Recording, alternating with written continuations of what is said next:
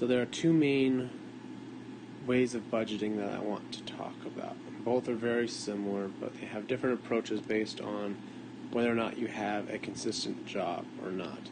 So the first one is budgeting with a monthly income. So you have a steady job and you have a certain amount that you know is coming in every month. Um, I recommend you implement then an every dollar budget. And what that means is that you have every dollar is accounted for that comes in. It has a specific place that it will go to.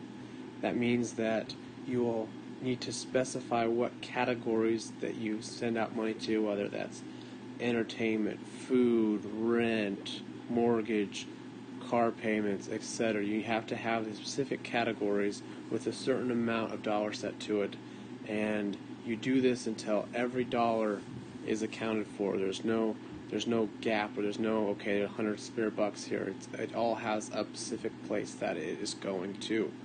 Um, it is recommended in some places that you develop like an envelope system. Dave Ramsey um, is a big fan of the every dollar budget and the envelope system, so that you use cash again over credit card and you set it out into these envelopes. And once that cash for that specific category is out, then you are done um, spending in that category that time. So it takes a lot of self control and uh, planning. So, but with that, you need to remain firm to that plan.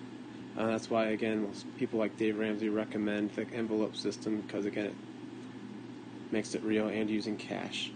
Uh, so, again, it'll help to develop your self control.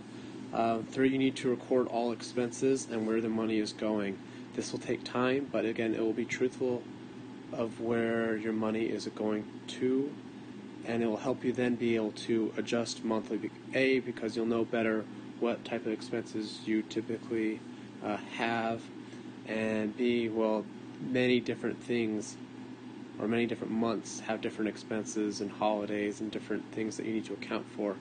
Uh, so this isn't just a one-time monthly or one-time budget that you're making. It needs to be changed every month.